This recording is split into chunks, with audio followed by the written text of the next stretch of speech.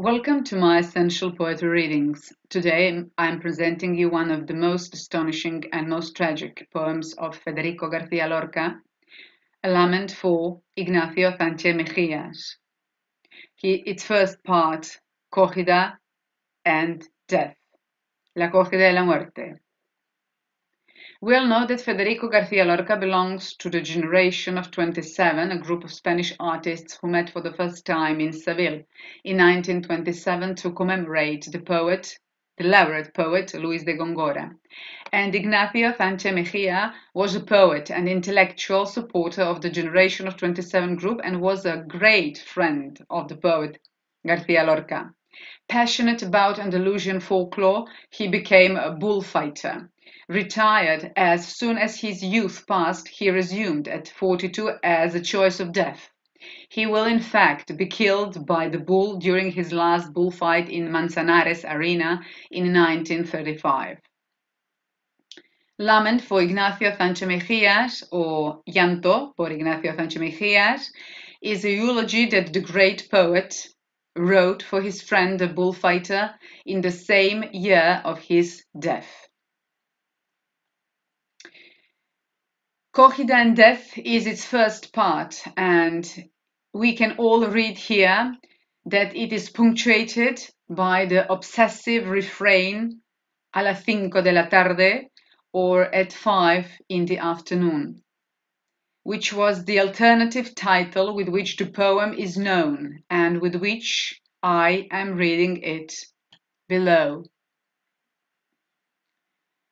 At five in the afternoon.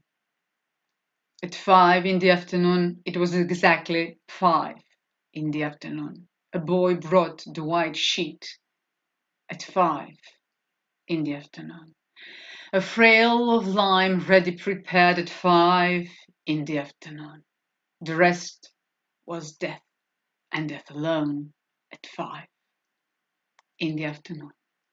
The wind carried away the cotton wool at five in the afternoon, and the oxide scattered crystal and nickel at five in the afternoon. Now the dove and the leopard wrestle at five in the afternoon, and the tie with the desolated horn at five in the afternoon. The bus string struck up at the five in the afternoon, and their scenic bells and smoke at five in the afternoon.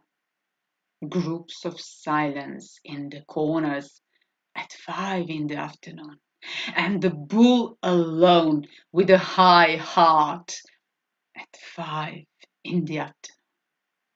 When the sweat of snow was coming at five in the afternoon when the bull ring was covered with iodine at the five in the afternoon.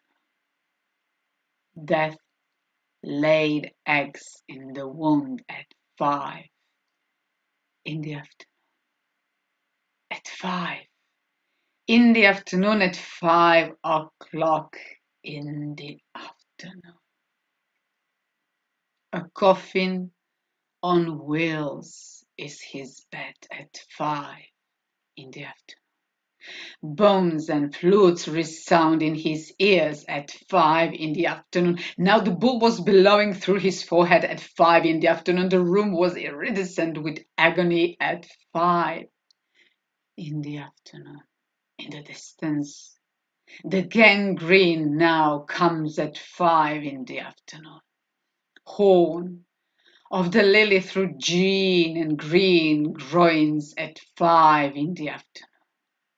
The wounds were burning like suns at five in the afternoon, and the crowd broke the windows at five in the afternoon.